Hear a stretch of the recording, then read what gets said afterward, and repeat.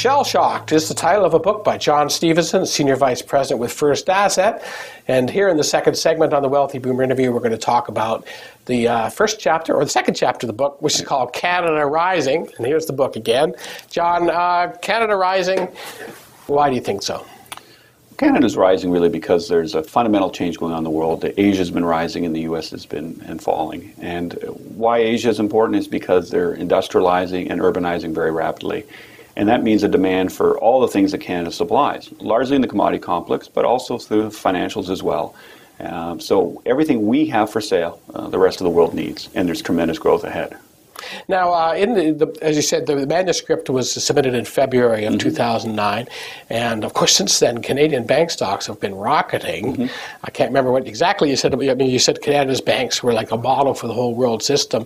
Have the valuations that hit by the end of December sort of still make Canadian stocks a buy, bank stocks a buy? I, I would rate them a hold in general. I, I, don't think you need to, to buy aggressively at this point. I think they've had this tremendous rally up sort of 90% uh, since the bottom in many cases. I think you can buy selectively some of the names that are a little more troubled. Um, Commerce Bank, for example, um, you know, has been a relative laggard. But bottom line, uh, I think they've had a good run. You need to own the Canadian banks, but I don't think you need to aggressively buy them at this point. Uh, the insurance companies better bet? I think way better bet. Well, first of all, uh, they've really not performed at all since this crisis. They're much more linked to the stock market, and they're twice as sensitive to stock market movements uh, than, say, the banks. So they should outperform, and they should have done better than they have.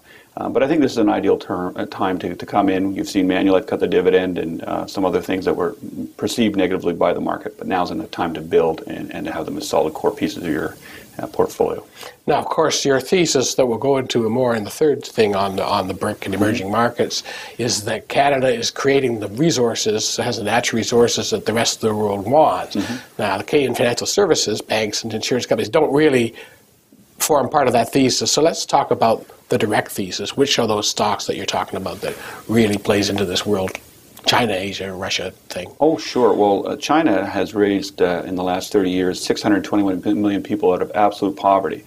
And so they've gone from a subsistence wage of probably around $1,000 uh, a year, US uh, dollars, to now in many cases three, four, five. McKinsey, uh, a global consultancy, estimates that about $6,300 a year you start be entering the global middle class. And that means you can buy a car, you can buy uh, small appliances, maybe even own a small place.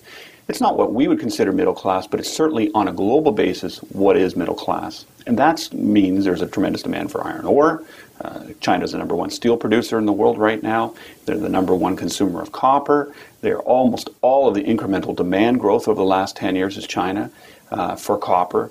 So for copper, for nickel, for zinc, all the base metals, even for gold, they're they're relevant in, in that market. And certainly in energy, they're starting to move up the curve. They're not the big consumer that the U.S. is, but they do subsidize their fuel, and that makes the, it attractive to drive.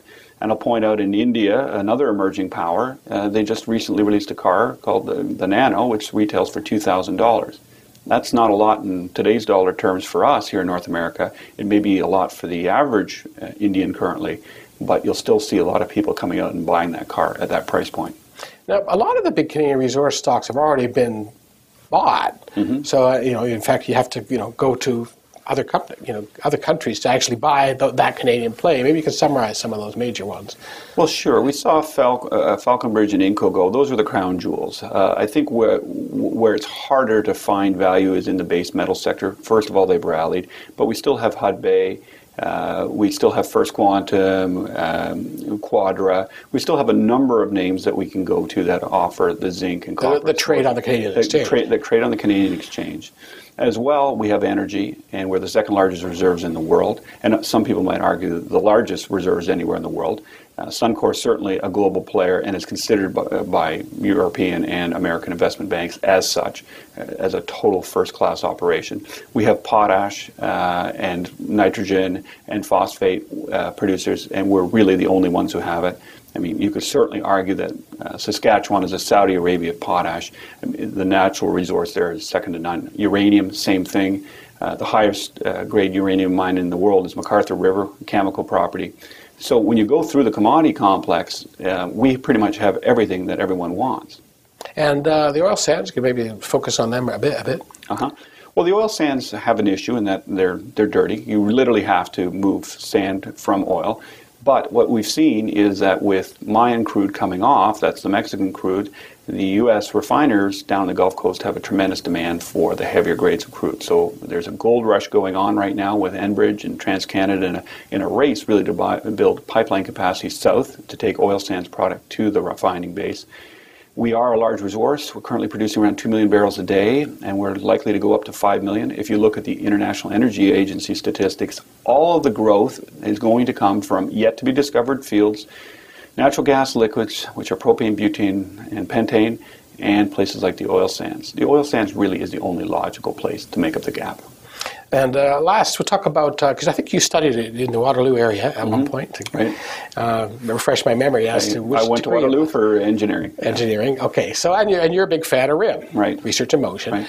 Uh, and yet Canada dropped the ball with Nortel. I mean, mm-hmm. was RIM like a sort of a, a fluke, or do you expect a lot of other RIM spin-offs, just the way Nortel used to uh, spin off a bunch of stuff like Newbridge. Well, yeah, Nor- Nortel came out of Bell Labs, so it certainly had that government backing. I think there's a nexus of talent here, and I, I argue that Waterloo is one of those that's analogous to the Boston Triangle, that area, or maybe even the, sort of the the, uh, the whole uh, San Francisco area.